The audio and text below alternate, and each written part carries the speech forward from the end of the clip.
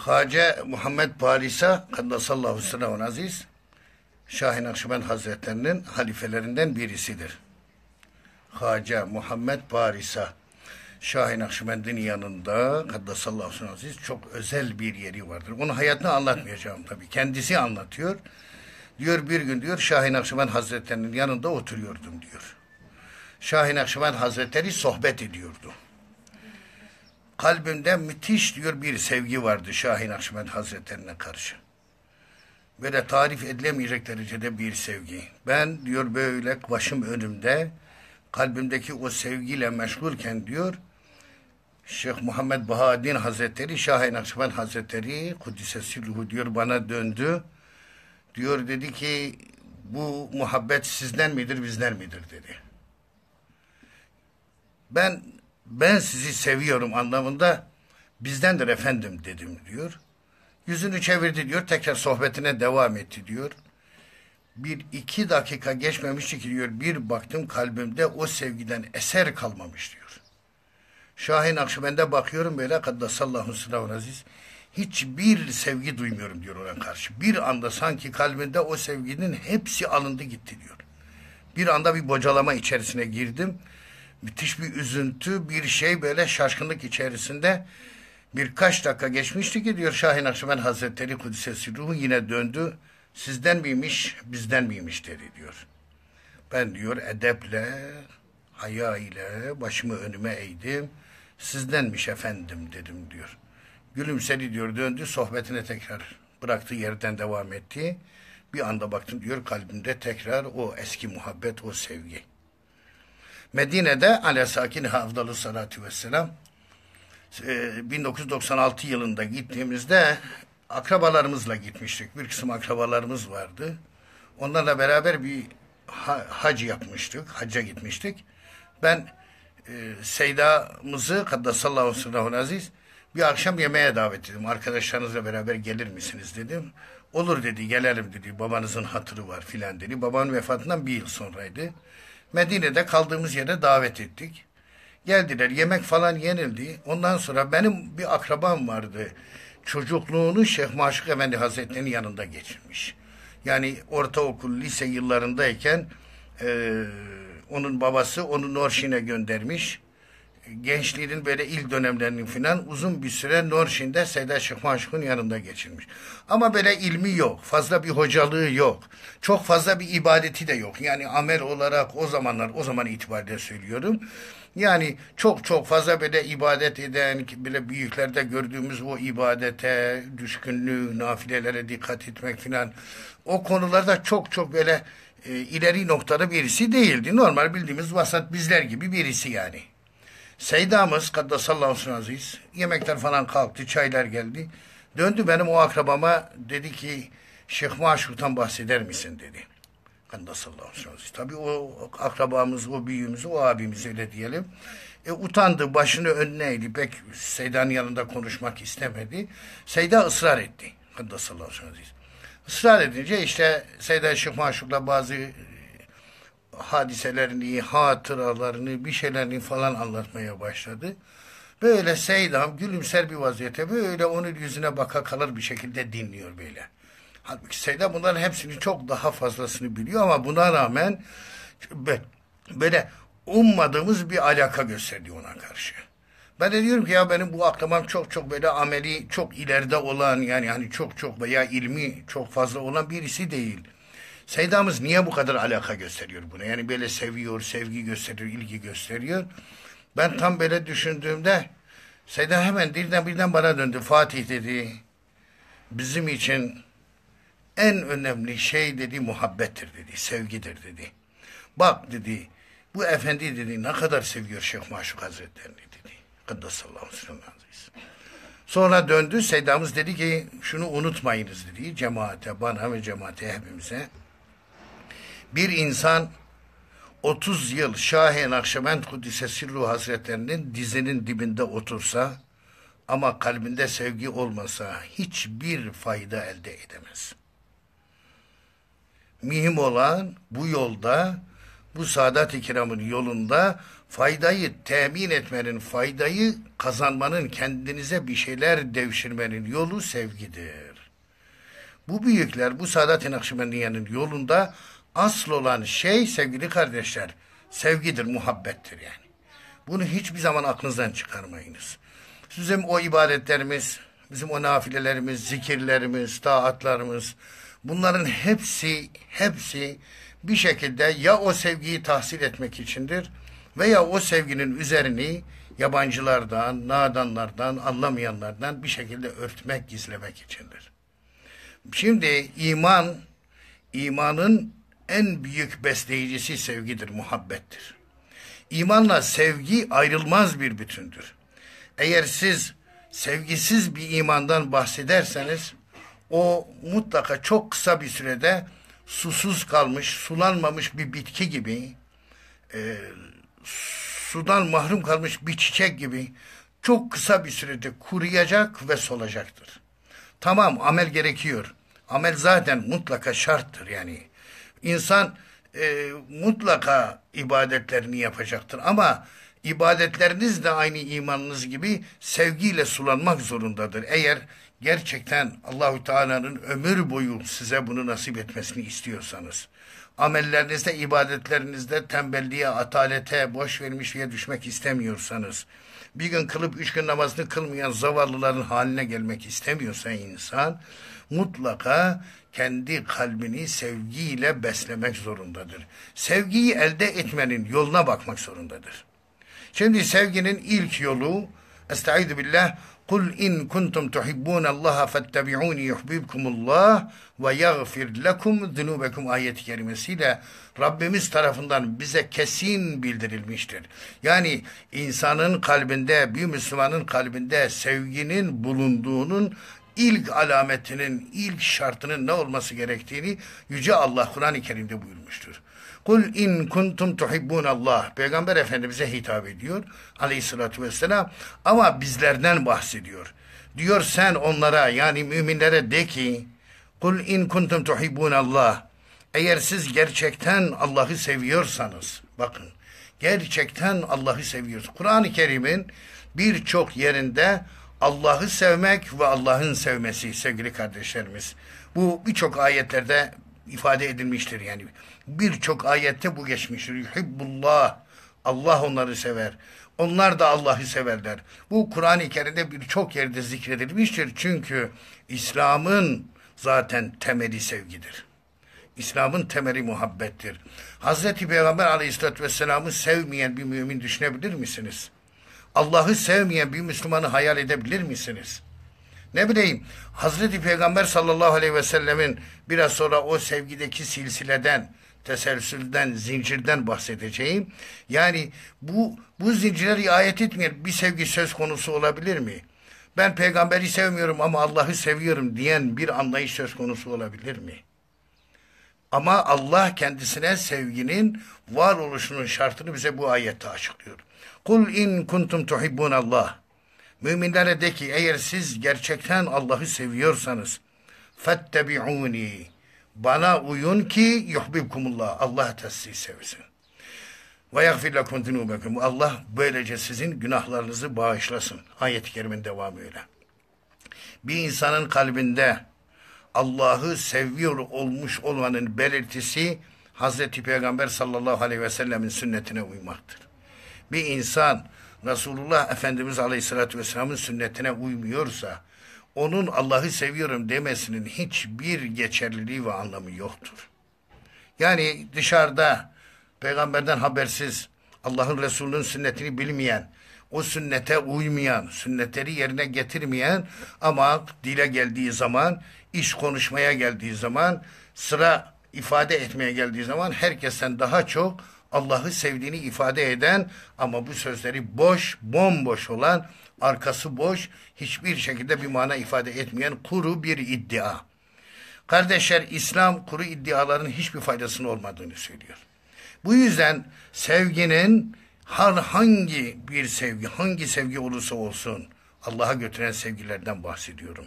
Allah'ın sevgisine götüren sevgilerden bahsediyorum. Bu sevginin ilk şartı Hz. Peygamber aleyhissalatü vesselamın sünnetine uymaktır.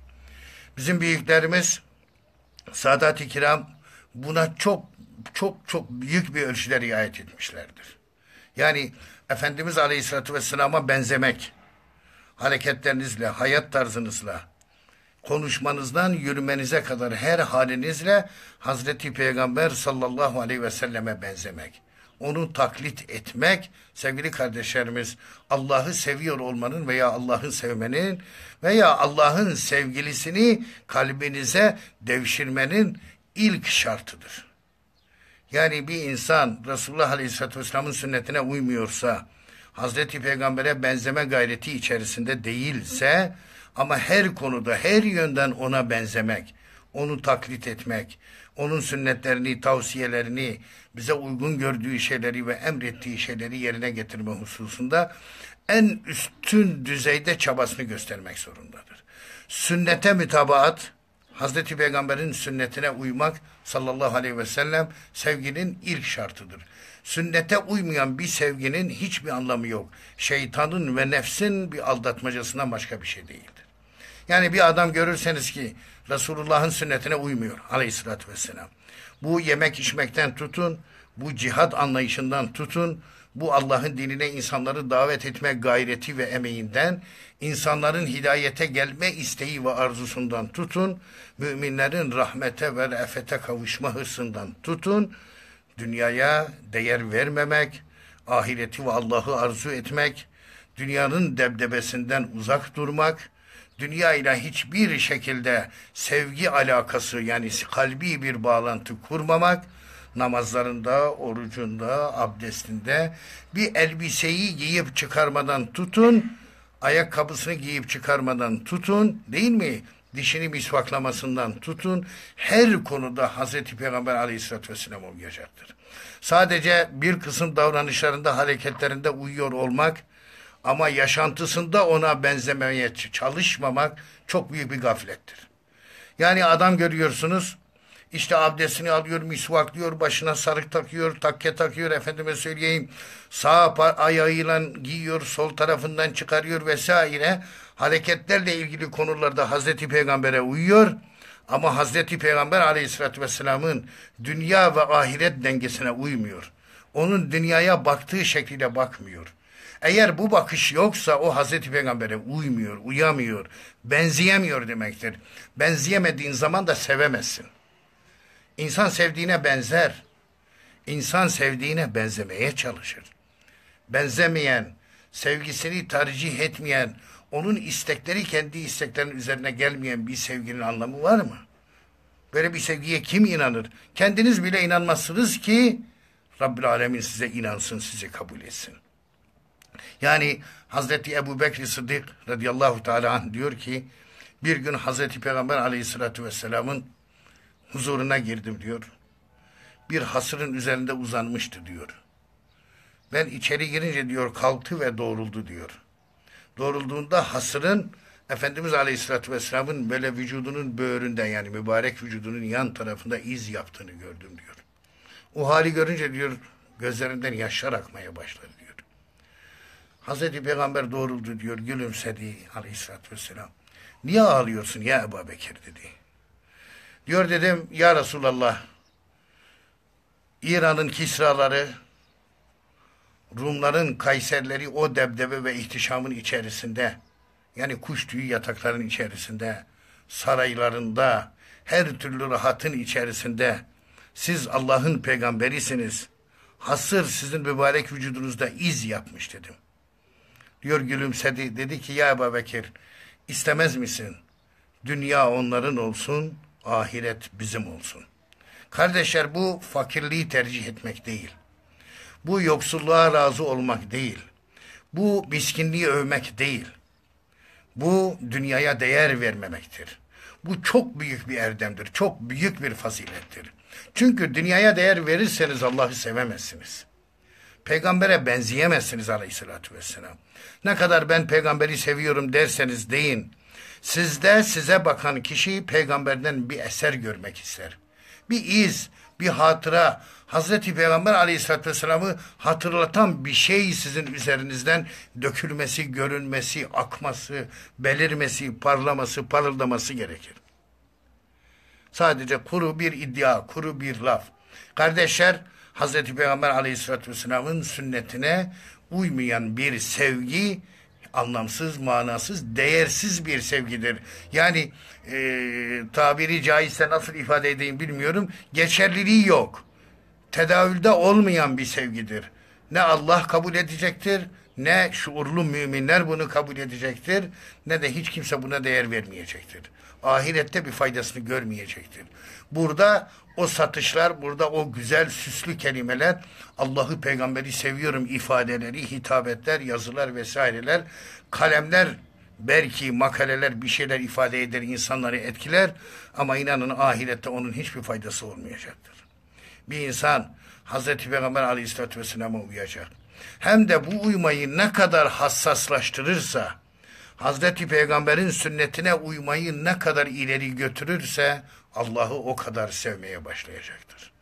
Allah kendisini sevmesinin sevmenin şartı haline getirmiştir. Vazgeçilmez şartı kuralı haline getirmiştir. Peygamber sallallahu aleyhi ve selleme uymak. Ve büyükler her konuda sevgili kardeşlerimiz, büyüklerimiz her konuda Hazreti Peygamber'e uymaya çalışmışlardır aleyhissalatü vesselam. Sadece elbise giyip çıkarmak, başına sarık takmak, ne bileyim sırtına cübbe giymek, ne bileyim işte abdest veya namazların sünnettir vesairede, kıyafetinde filan giyeceğin onlara uymak değil. Benim demin dediğim konularda ve aklımıza gelmeyecek belki hatırlamayacağımız kadar. Mesela diyelim ki en ufak bir sünneti yani en ufak ona ait duydukları bir şeyi mutlaka yapmaya çalışmışlardır.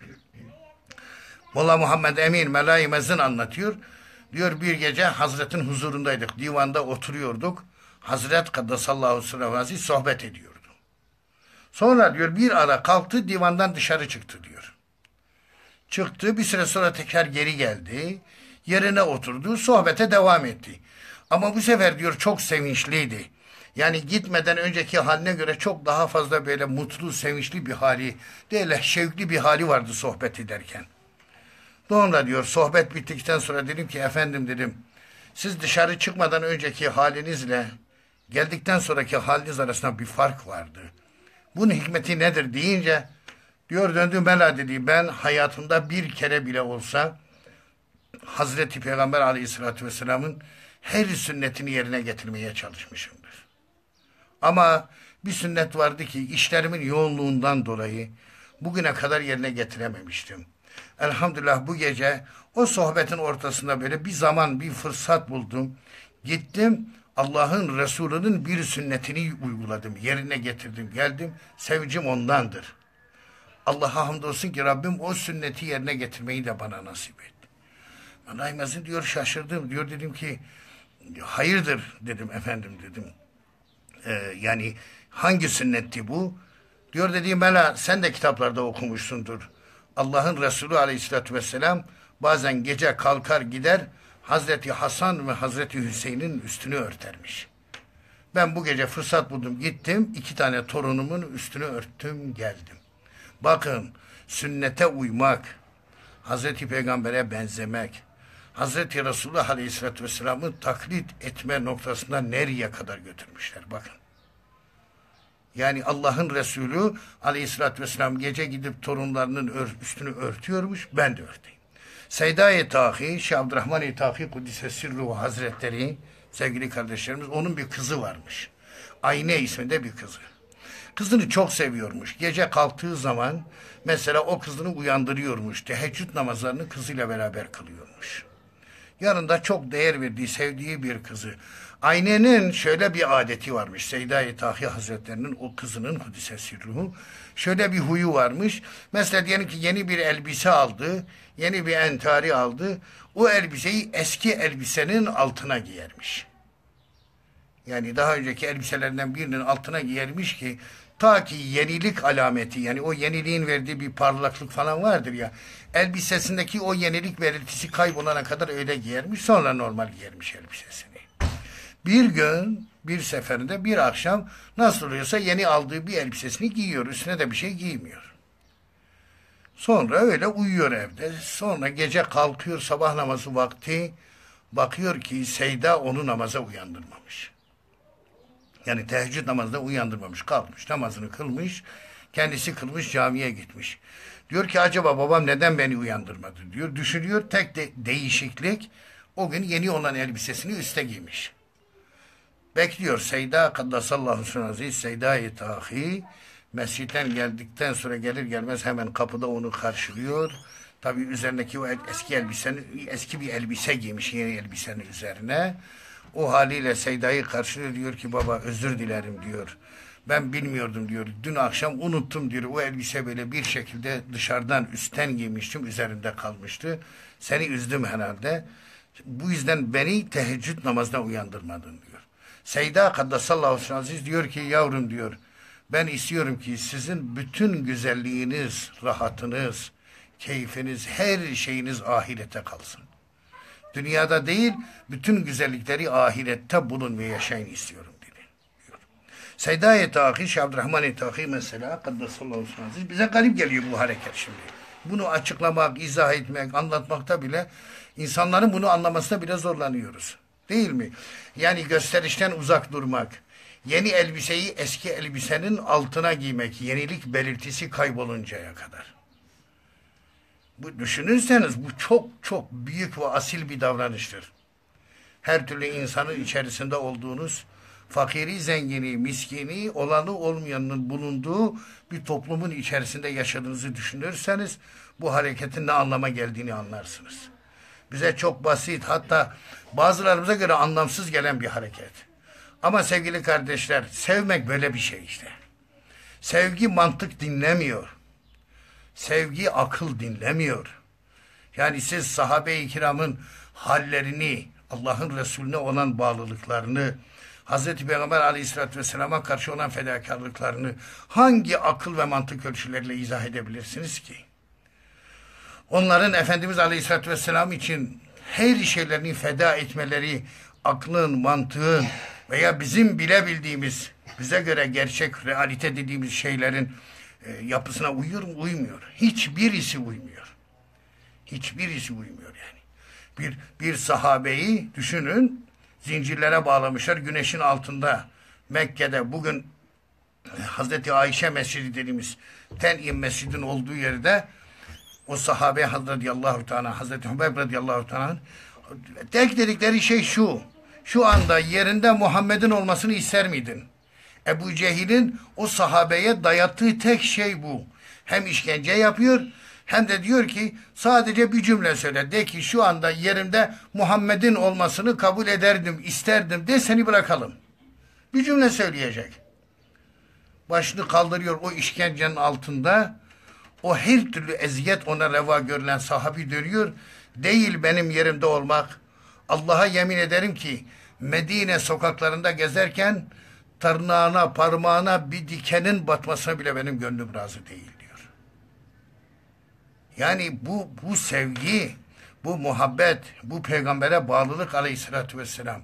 Bu, bu konuda büyükler, İslam alimleri, tasavvuf ehli, sadat-ı kiram sevgili kardeşlerimiz, bunu hayatlarının en önemli ölçüsü haline getirmişlerdir. Şimdi bir eski elbise de yeni elbise inanın bunlar size garip geliyor ama bakın ne kadar Hazreti Resulullah Aleyhisselatü Vesselam'a benzemeye çalışmış Seyda-i. Bir gün Hazreti Fatıma radıyallahu teala an annemize bir gümüş gerdanlık hediye geliyor. Ve Hazreti Fatıma annemiz o gümüş gerdanlığı takıyor boynuna. Peygamber aleyhissalatü vesselam Efendimiz eve geliyor. Hazreti Fatıma'yı torunları ziyarete geliyor. Fakat Hazreti Fatıma annemize gözü değer değmez böyle yüzünde hoşnut olmayan bir ifade. Hiç ilgi göstermiyor Hazreti Fatıma'ya. Bu hadis kitaplarında vardır. Hiç ilgi göstermiyor. Çocuklarla, torunlarla ilgileniyor sonra hemen dönüp gidiyor. Hazreti Fatıma çok üzülüyor. Diyor ki babam neden ba bana gülümsemedi bile? Acaba neye kızdı, neyden rahatsız oldu? Düşünüyor tek değişiklik o gümüş gerdanlık. Hemen gümüş gerdanlığı çıkarıyor. Sahabilerden birini çağırıyor. Kapının arkasından uzatıyor. Diyor bunu götürün. Çarşıya satın. Parasını da fakirlere dağıtın diyor. Alıyorlar gidiyorlar. Hazreti Fatıma annemizin o gümüş gerdanlığını satıyorlar. Parasına fakirlere tasadduk ediyorlar. Sonra geliyorlar Peygamber Efendimiz'e anlatıyorlar. O satmaya giden sahabi geliyor diyor ki ya Resulallah Fatıma kızınız böyle böyle emretti, böyle yaptım.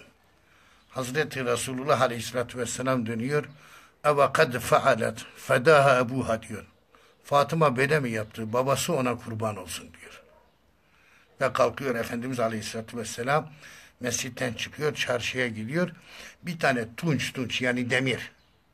Bakır bile değil. Bir tane tunç demirden bir gerdanlık alıyor. Demir bir gerdanlık, tunç bir gerdanlık. Ve direkt Hazreti Fatıma'nın evine geliyor. Hazreti Fatıma annemiz karşılıyor. Hemen alıyor o gerdanlığı ona veriyor. Sana bunu hediye ettim ey Fatıma diyor. Hazreti Fatıma diyor ki ya Resulallah ben gümüşün e, bizim için dinen bir sakıncası olmadığını düşündüğüm için taktım. Hazreti Resulullah Aleyhisselatü Vesselam diyor ki kızım diyor altın da benim ümmetimin kadınlarına helaldir.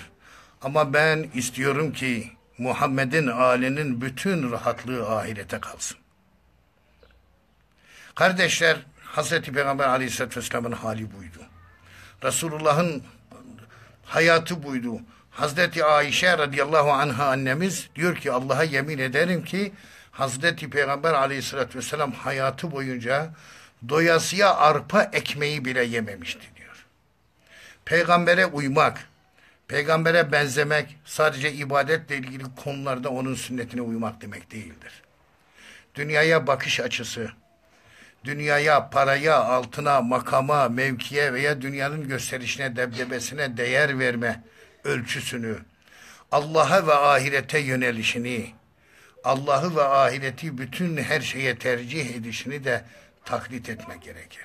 Yani sadece ibadetlerde değil, ahlakında, huyunda da Hazreti Peygamber aleyhissalatü vesselam'a benzemeye çalışmak lazım. İşte o zaman kalbinizde gerçek manada Allah sevgisi oluşmaya başlar. Bazı peygamber, hadis, sünnet vesaire, mezhepler, tasavvuf bunların aleyhinde ileri geri konuşanlar değil mi? Televizyonlarda falan görmüyor musunuz onları? Dikkat edin, dikkatle dinleyin. Hep Kur'an ayetlerinden falan bahsederler ama bakın hiç tek kelime sevgi onların ağzından dökülmez. Hiçbir yerde sevgiden bahsetmezler.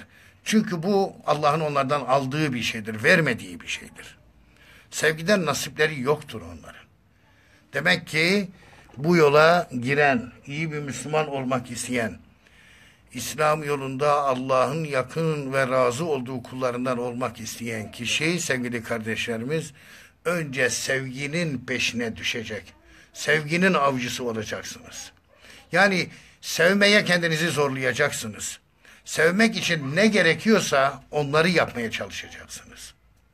Bilmiyorsanız önce sevmeyi öğreneceksiniz. Bu Nakşibendi yolunda madem ki bu yol Allah'ın rızasını elde etmenin yoludur. Madem ki bu yol Allah'ın yakın kullarından olma gayretinin yoludur. Madem ki bu yol İslam'ı, Kur'an ve sünneti tam olarak yaşamaya gayret etme yoludur. Madem ki bu yol kalbini Allah'ın zikriyle doldurma yoludur. O halde siz sevgi nerede bulunuyorsa, nasıl elde ediliyorsa, sevginin elde edilmesi için ne yapmak gerekiyorsa onu yapacaksınız. O yapma, yapılması gereken şeyi yapacaksınız yani. Sevgiyle ilgili hiçbir şeyden kendinizi hiçbir zaman esirgemeyeceksiniz. Yani bu o zaman siz Allahu Teala'nın size verdiği nimetin büyüklüğünü görürsünüz. Kardeşler, sevginin varoluşun alametlerinden birincisi sünnete uymaktır. Şimdi siz derseniz ki ben acaba seviyor muyum, sevmiyor muyum? Size birkaç, birkaç, birkaç ölçü vereceğim. Basit birkaç ölçü. Mesela seviyor muyum, sevmiyor muyum? Sevdiğinizin istekleri sizin isteklerinizden daha önce geliyor mu? Bakın bu çok önemli bir şey. Çünkü sevmeyi bilmek lazım. Sevginin kuralları her yerde aynıdır. Değişmez ama o sevginin Allah katındaki değeri değişir. İnsan var parayı sever, dünyayı sever, bir kadını sever, makamı sever, mevkiyi sever. İnsan var Allah'ı sever, Allah'ın Resulünü sever ve o sevginin gerektirdiği sevgilere sahiptir. Bakın o sevginin gerektirdiği sevgiler diyorum. Nasıl ki peygamberi sevmek Allah'ı sevmenin bir basamağıysa peygamberi sevmenin basamakları da vardır aleyhissalatü vesselam. Ama ilk ilk şart odur. Birincisi bu. Sevdiğinizin istekleri sizin sevdik isteklerinizden daha önce geliyor mu? İlk önce onlara kıymet veriyor ve öncelik tanıyor musunuz? Şimdi derler bir tane adam bir gün geldi bir şeyhin huzuruna geldi, girdi. Dedi ki ben tarikata girmek için geldim. Ben tasavvuf yoluna girmeye geldim efendim dedi. Diyor şeyh baktı dedi ki sen hayatında hiç sevdin mi? Adam durdu durdu diyor düşündü köylü birisiydi diyor. Diyor dedi ki hayır ben hiç sevmedim dedi. O zaman geri dön git dedi. Sevmeyi bilmeyen bizim bu kapımızdan bir şey elde edemez dedi. Adam döndü diyor tam çıkarken kapının içinde Durdu döndü efendim dedi. Ben çocukken dedi bizim bir ineğimiz vardı buzağılamıştı. Ben bir üç beş gün o buzağı sevdiydim deyince diyor şey gülümsedi. Gel dedi gel. O kadarını biliyorsan o da yeter dedi. Sevmeyi bilmek, sevebilmek, sevilebilmenin ilk şartıdır. Siz sevmezseniz sevilmezsiniz. Bunu hiçbir zaman unutmayınız. Demek ki ilk önce insan sevdiğinin bütün isteklerini, kendi isteklerinin önüne alacak. İkincisi seviyor musunuz, sevmiyor musunuz sevgili kardeşimiz? İkinci kardeşlerimiz ikinci ölçüsü şudur. Kaybetme korkusu. Yani bir şeyi sevdiğinizin ölçüsü onu sev, onu kaybetmekten olan korkunuz. Onu kaybetmekten, onu üzmekten, ondan uzak düşmekten ne kadar korkuyorsanız o kadar seviyorsunuz demektir. Üçüncüsü ise, üçüncü şart ise sevgili kardeşlerimiz, sevginin üçüncü belirtisi, sevginin var olduğunun üçüncü belirtisi, sevgiliniz uğruna fedakarlıkta bulunmak. Diğer sevdiklerinizi bu sevdiğinizin uğruna harcayabilmek. Değil mi? Anladınız değil mi ne demek istediğimi? İşte o zaman siz eğer bu üç şartta kendinizde bir cevher görüyorsanız o zaman dersiniz ki demek ki elhamdülillah Rabbime hamdolsun, şükür olsun. Yine Rabbinizden bileceksiniz ki bu sevgiyi size nasip etmiş. Sevgili kardeşler, bütün İslam alimleri, bütün tasavvuf ehli sevgide bir silsileden, bir zincirden bahsetmişlerdir. Ve bu zincire mutlaka riayet edilmesinin İslam geleneği olduğunu söylemişlerdir. Yani Allah'ı sevmek, Allah'ı sevmekten önce Ondan önceki basamak Allah'ın Resulünü sevmektir aleyhissalatü vesselam. Bu yüzden peygamberi seven Allah'ı sevmiş demektir. Bu yüzden peygambere itaat eden Allah'a itaat etmiş demektir. Peygambere isyan eden Allah'a isyan etmiş demektir. Allah peygamberine o kadar değer vermiştir ki ona isyan etmeyi kendisine isyan olarak kabul etmiştir ve bunu kitabında çok açık bir şekilde bize anlatmış, belirtmiştir. Peygamberin razı olmadığından Allah razı olmaz. Böyle bir şey muhaldir. Peygamber aleyhissalatü vesselamın sevgisini elde etmenin yolu sevgili kardeşlerimiz ehli beyti sevmektir. Yani Hazreti Peygamber aleyhissalatü vesselam Efendimizin ehli beytini, alini yani hanımlarını, evlatlarını, Hazreti Fatıma'yı, Hazreti Ali'yi, Hazreti Hasan'ı, Hüseyin'i ve Ehli Beyt'in devamı olan Sadat'ı, silsileyi, seyyidleri sevmeden Hazreti Peygamber Aleyhisselatü Vesselam'ı sevmek mümkün değildir. Ehli Beyt'i sevmeden peygamber sevgisine kavuşamazsınız. Bu üçüncü basamağıdır. Dördüncü basamağı sevgili kardeşlerimiz Hazreti Peygamber Aleyhisselatü Vesselam'ın sahabesini sevmektir. Efendimiz Aleyhisselatü Vesselam'ın arkadaşlarını sevmedikçe Hazreti Peygamber sizden razı olmaz. Ve sizi sevmez Aleyhisselatü Vesselam. Bu yüzden benim sahabem hakkında bir şey konuşan bana eziyet etmiş olur diyor Efendimiz Aleyhisselatü Vesselam. Sen Peygamber Aleyhisselatü Vesselam'a eziyet etmeyi göze alır mısın? Bütün sahabiler hangisi olursa olsun Efendimiz'den önce veya sonra Aleyhisselatü Vesselam hangi olaya karışmış olursa olsun hangi olayın içerisinde siyasi veya herhangi bir şekildeki bir olayın içerisinde yer almış olursa olsun Hazreti Peygamber'in arkadaşıysa onun sahabisi ise aleyhissalatü vesselam bizim için bütün olay bitmiş kapanmıştır. Sahabeyi sevmek Hazreti Peygamber aleyhissalatü vesselam'ı sevmenin şartıdır. Sahabeyi sevmeden Allah'ın Resulünü sevemezsiniz. Allah'ın Resulünü sevmeden Allah'ı sevemezsiniz. Bunun dördüncü zincirin dördüncü halkası da sevgili kardeşlerimiz. Size Allah'ı, Resulünü ve sahabesini Allah ve Resulünü size anlatan, öğreten, sizi onların yoluna götüren hocalarınızı, büyüklerinizi sevmenizdir. İnsanın mürşidine olan sevgisi, sevgili kardeşlerimiz, bir silsilenin, bir zincirin son halkasıdır. Tutabildiğimiz, kavuşabildiğimiz, ulaşabildiğimiz halkasıdır sevgili kardeşlerimiz. Bu yüzden mürşidi sevmek, insanın hocasına, üstadına, mürşidine değer vermesi zaten Nakşibendi yolunda fayda görmenin aslıdır yani. Peygamber aleyhissalatü vesselamın sünnetine uyacaksınız. Mürşidinizin, üstadınızın isteklerini size uygun gördüğü şunu yap, şunu yapma dediği şeyler ki onların hepsi zaten Allah'ın ve Resulünün emirlerine uygun olan şeylerdir. Aksi muhaldir. Aksi bir şey söz konusu olamaz. Ama sizin özel kişisel hayatınızla ilgili yani bir doktora gidiyorsunuz. Doktor diyor ki az yemek ye veya şeker yeme veya şunu yeme. O doktorun tavsiyesine uymak nasıl sizin için önemliyse sağlığınız için dinle ilgili olmayan bazı konularda sizin mürşidinizin işiniz, ticaretiniz, efendime söyleyeyim ibadetleriniz, nafileleriniz, zikirleriniz ve taatlerinizle ilgili şunu şöyle yap, bunu böyle yap, şu kadar tesbihat, şuna dikkat et veya belki oruç tut der veya belki der ki şu kadar sadaka dağıt vesaire. Yani bu konularla ilgili tavsiyeleri, istekleri sizin isteklerinizin önüne geçmelidir. Daha önemli olmalıdır sizin için. Bu yüzden eğer insan bunları bilirse, bu silsilelere riayet ederse, bu zincirin halkalarına dikkatle, dikkatle ve dikkatle yani özen göstererek riayet ederse nihai sevgi olan, azimuşşan olan Allah'ın sevgisine kavuşur ve ulaşır. Mürşidinizi sevmezseniz bunun gerisi gelmez. Mürşidinizi sevemiyorsanız sevmek için gayret gösterin. Dua edin.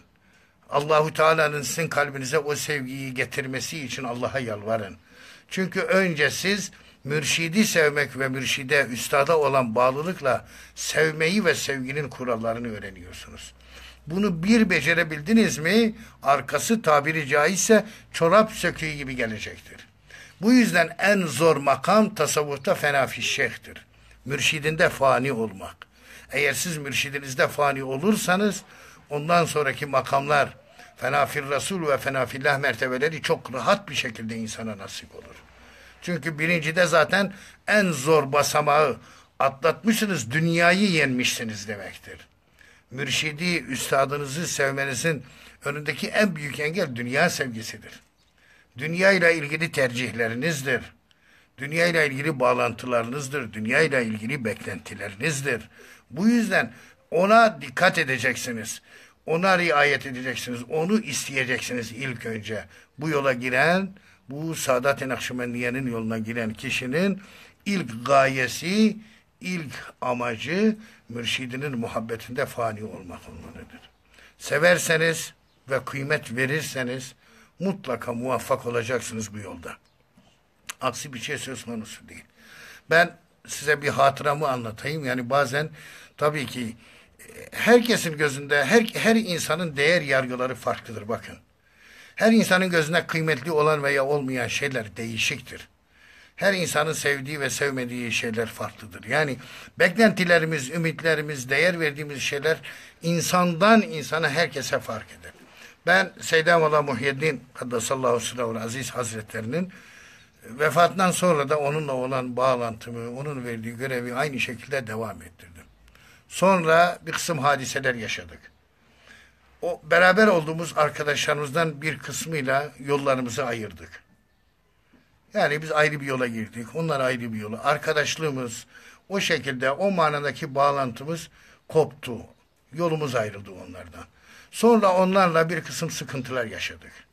Yani tabi olayın ne olduğunu, ayrıntılarını falan asla anlatmayacağım, isim vermeyeceğim. Çünkü bunlar hep Seydamızın, Kaddasallahu Burhaneddin Efendi'nin bana ilk günden yasakladığı bir konudur. Bu yani o anlamda kimseyle bir mücadeleye, bir cedelleşmeye, bir tartışmaya girmeyeceksin demiştir Seyyidimiz. Ben bugün bu olayı anlatırken bile başka bir maksatla anlatıyorum. Sonra bizi üzdüler. Yani işte bizi üzecek bir kısım laflar, bir kısım söylentiler, şunlar bunlar filan duyduk. Sabrettik, sesimizi çıkarmadık. Böyle bir bir sene geçti. Yani ben o arkadaşlardan ayrıldıktan sonra bunu böyle hazmedemediler, kabul edemediler. Sağda solda aleyhte konuştular. Bizi kötüleyen, karalayan bir kısım laflar duyduk. Ama Burhanettin Efendimiz, Seydamız bize emrettiği için sustuk. Ben hiç kimseye cevap vermedim. Uzun ama epey bir üzdüler bizi yani. Bizim hepimizi çok üzdüler. Yani beni, Nihat Hoca'yı, öbür abimi hepimizi bir şekilde böyle kendi taraftarlarına, kendi arkadaşlarına, kendi haklılıklarını belki göstermek için. Niye yaptılar bilmiyorum. Yapmamaları gerekirdi. Bizi tanıyorlardı yani. Ama buna rağmen böyle konuştular bir şeyler filan. Aradan bir seneye yakın bir süre geçti. Bir Ramazan umresine gittik biz. Annem hayattaydı rahmetullahi aleyh. İşte Nihat Hoca, Ömer abi, dayım, dayım vardı bir de rahmetli dayım Cemalettin, Hacı Cemalettin dayım vardı. O da çok çok melek, melek tabiatlı bir insandı. Gittik orada bir yer kiraladık. Medine'deyiz. Ramazanımızı orada geçiriyoruz. Her gece de bütün gece uyanığız. Yani teravih kılıyoruz, mescitteyiz. Efendim çıkıyoruz, geliyoruz, sahurlarımızı yiyoruz, tekrar gidiyoruz. Sabah namazını kılıp geliyoruz. Sabah namazını kılıp geldikten sonra uyuyoruz. Böyle bu kadar olumsuz bizi üzen, yani böyle bizim canımızı sıkan olaylar yaşamışız filan. Bir gün bir sabah namazını kıldıktan sonra geldik, oturduk böyle 3-5 dakika sohbet edip ondan sonra uyuyacağız. Ben dayıma dedim ki dayıcığım dedim. Bu bir yıldır bu kadar böyle olaylar yaşadık. Bu kadar laflar, bu kadar dedikodular. Ben bu yıl içerisinde Sedemola Muhyiddin'i hiç rüyamda görmedim. Hakikaten hiç o bir yıl boyunca bir tek defa bile olsun rüyamda görmedim. Acaba dedim Seyda bu olaylardan dolayı bana kızdı mı dedim. Bana darıldı mı, benden gücendi mi acaba dedim. Yani böyle içinde bir bir düğüm, içimde bir ukde, bir üzüntü, böyle bir biraz sohbet ettim dayımla. Sonra neyse yattık, uyuduk. Ben başımı koyar koymaz bir rüya gördüm. Rüyamda aynen uzandığım yerde bakıyorum ki ben oturuyorum. Karşımda da döşeğin üzerinde Seydam Ola Muhyiddin oturuyor.